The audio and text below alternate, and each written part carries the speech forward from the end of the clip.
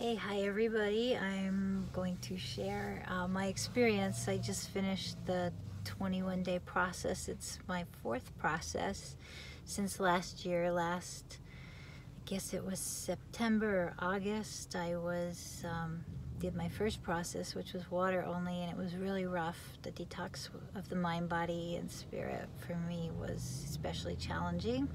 I'm in my 50s, had a rough life.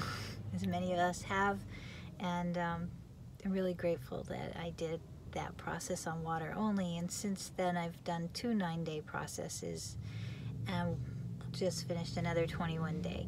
Each process got easier because my body is is like my body and mind are on board with the process.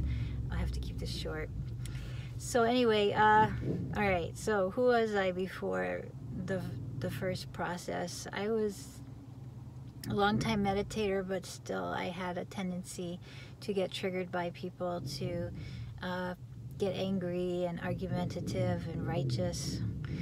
Um, so I was that way with the facilitator at times, and um, I had to detox all those emotions as well. I've come to a place of more content more and more contentment with my life, even though right now I don't have a real strong direction. I am pretty much okay with it. Not thrilled, but content. And uh, I'm much more aware of my habits, bad habits that I used to have, which I'm trying, still trying to break.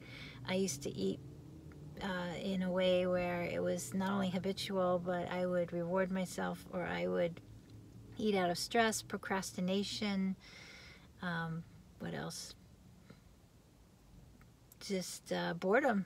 If like I was bored with the task I was doing, I would eat.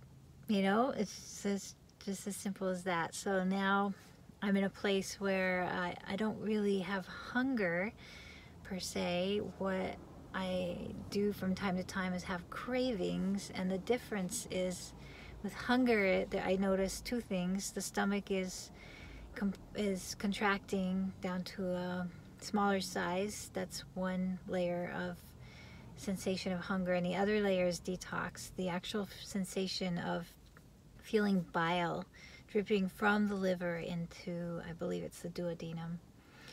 And that for me causes nausea. So I associate the cramping, the stomach cramping, and the nausea with as hunger and and now if I don't eat solids for three or more days I don't have hunger. Instead I have cravings and with the cravings I just observe them and they go away. If I indulge those cravings then I suffer.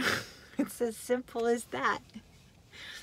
So I can't say I've reached any kind of enlightenment uh, but I can say I am much more aware, and once you have awareness, you can choose. You can choose to go back to the old way or choose to continue the process, and it is a process because you can learn as you go or not learn as you go and go back to the old way. And either way is your choice. It's it's okay. So I'm choosing to continue with the process um, and is and plan to eat instead of habitually eat. So I'm not sure yet when I'm going to eat again. It's been 21 days of liquid foods, different densities, experimentation, and now my experimentation will be with solid foods, like when and where will I eat the next solid meal.